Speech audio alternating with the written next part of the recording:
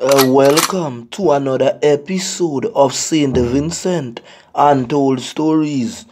On this episode, we give you uh, the most recent update on the La Soufrière volcano, and we are going to tell you why residents of OTR and above are not speaking out.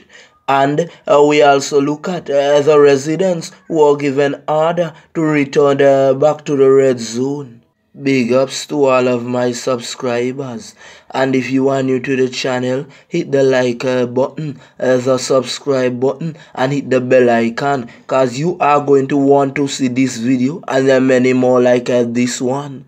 It was said on the National Broadcasting Radio of St. Vincent and the Grenadines uh, that residents of Georgetown right up to Rabacca can return home. Uh, that was said on a live stream on the 17th of May 2021. On the 18th of May uh, 2021, uh, the following Tuesday, it was said live on the broadcasting uh, that uh, there is a possibility uh, that the volcano can erupt again. Uh, so, let me just give you this update. Uh, right now, uh, the volcano is steaming. Uh, the guys that are monitoring the volcano is saying that right now uh, the volcano is a bit silent. But wasn't it just a few days ago they had some earthquakes? You guys have seen with your own eyes the damage uh, that was done by the volcano and the recent uh, flooding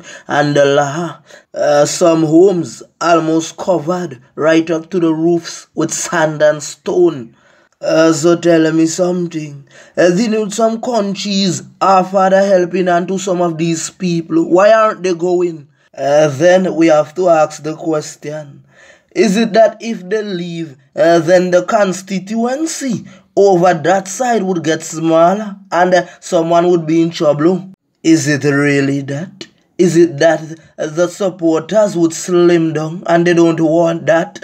Uh, so, if Antigua say uh, they will accept some, the BVI say that and you want to reopen schools. Why do you have still have them in the schools? It is just like saying, if you take a job, you will get a carnival.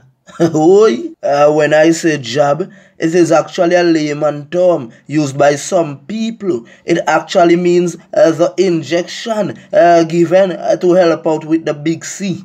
Uh, too many lies.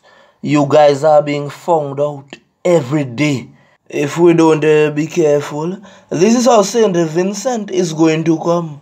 It is going to come a place where uh, no one would accept the laws anymore uh, because some persons are doing things and getting away with it while the small man feels the pressure and feels the pain. Uh, but with the way things are going, uh, persons are afraid to speak out.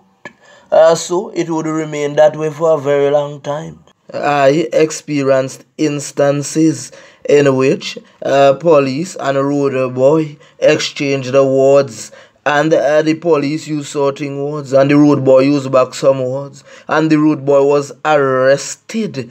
And not one day later not two days later uh, not a month later immediately uh, there was no such thing as pending investigation. Uh, so you see how the laws in st vincent work.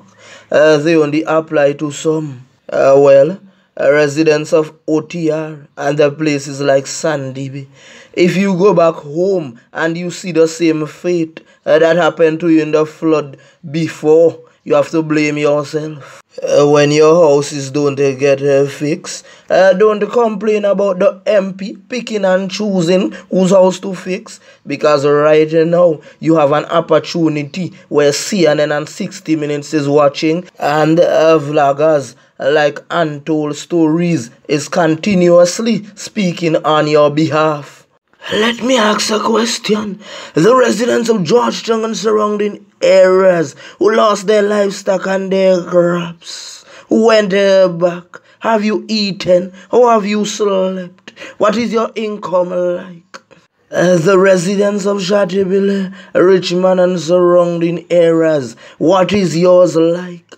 Uh, you know, all this time I was thinking that is when you register to move out of the shelter, you would get the first $400. Uh, so tell me something. If you go back to the orange and the red zone and you don't have any money in your pocket, you have to be hungry for a few days before you see the $400. And from the way things are sounding, not everyone is going to get the $400. It was people who was walking. So don't tell yourself 10 of you in a household, uh, that's 400 times 10. It not work so, you know. I explained it before in a previous episode. $500 would go to farmers every month until the year ends. And you see, from that year end, it stopped right at this so. Uh, $400 would go to persons who are working every month until the year ends. So, as them never say uh, that how children are entitled to a $400 as well. So, as I said before, if you have 10 people in the house, which six are children and the others who are working, only the ones who are working would receive the $400. And uh, this is how I feel they are gonna do it. Uh, they are gonna check to see what kind of work you do. And uh, they would also check with your employer to see if your information is factual. Other farmers who are going to register would need to present their farmer's ID as usual. Uh, there would also be a one-time payout of $500 to non-red zone farmers because some of those farmers were affected as well by the ash. If any changes were made to what I said is they went back and changed it because we know they like to make changes and say they did not say such, which the information was out there and I read it and I gave you back it in a layman's term. Uh, so, uh, to the lady uh, that I met at a shop recently that was already calculating a sum of money uh, that her children and herself would receive. It is not so. And now you have the correct information here. Uh, question again. Would transportation uh, be provided for those persons who were evacuated from the red zone and took a lot of baggage with uh, them? How are they going to get this stuff back home without any money in their pockets? Uh, remember, you guys are the ones uh, that send transportation to evacuate them. And now you are telling them to go back home, and we haven't heard anything about providing transportation for them. Uh, before uh, the persons were ordered to go back home, we needed a poverty assessment. Uh, remember, you guys admitted to extreme uh, poverty. So we need to see it on a paper how much of the population is daughter poor. You know the thing that affects me the most? It have a lot of poor people in the Prime Minister's constituency, you know, and they choose to remain silent, uh, bearing hunger every day. We know their sufferation because we are always on the street. Uh, let me give you an example of what I'm talking about. I have a friend, I don't wish to call his name, but he has been suffering for years. His family is a big red card holder who employs people. He don't give him any employment. Uh, Sometimes the guy drunk and eats save for breakfast, lunch, and dinner. And I saw at a voting day, uh, that guy came for that uh, guy to put his ex for them. And after that, uh, he didn't want to see him. I remembered untold stories. We don't go off of speculation, we go off of facts. You remember when I did an episode with Bongo and Bongo called out a certain name? So you can go and check out that story so you would know. Put two and two together and know it would add up. Uh, well, as you must have heard by now, uh, some schools have started back. Well, for some, not the entire schools, but some classes. Uh, so, what we would like uh, some of the journalists to do is to go to the schools and interview some of the students. You might probably need the parents' permission, but it's just an honest opinion. How are they coping with school and so forth? Uh, the idea of Sandals coming here to employ persons is a good thing. Uh, but I said we need more opportunities we need factories. We need inventors and creators. We can't all be laborers all our lives. Uh, just over $18 million uh, going to the persons affected uh, by the volcano. Oh my. So where's the rest going to? Uh, this is what I think.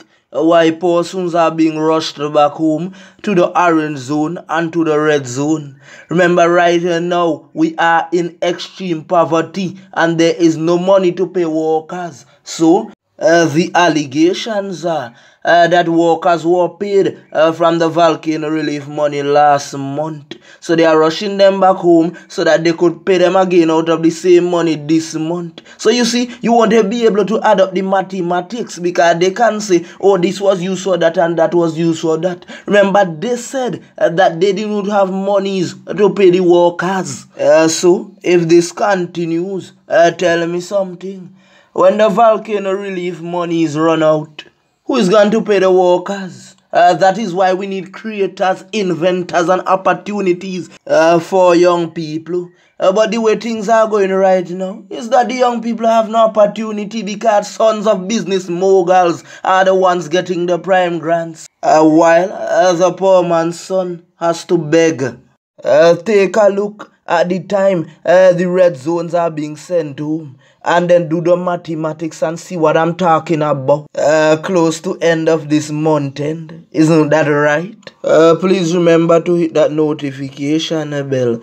I just want to big up the entire population in St. Vincent and the Grenadines, uh, the regional islands and the international countries who are supporting and uh, praying for us as always. I'm out.